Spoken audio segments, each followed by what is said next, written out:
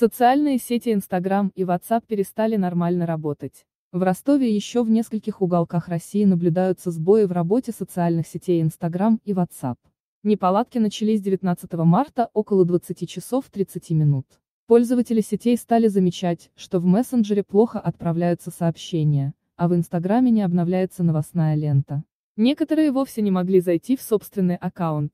Из-за перебоев в работе популярных соцсетей многие начали общаться во ВКонтакте. Во многих группах мгновенно появились посты с недоумением пользователей. Что происходит, это восстание машин, пишут люди в собственных постах. Помимо сбоя в работе указанных сервисов, люди замечали неполадки в работе оператора сотовой связи МТС и Ростелеком.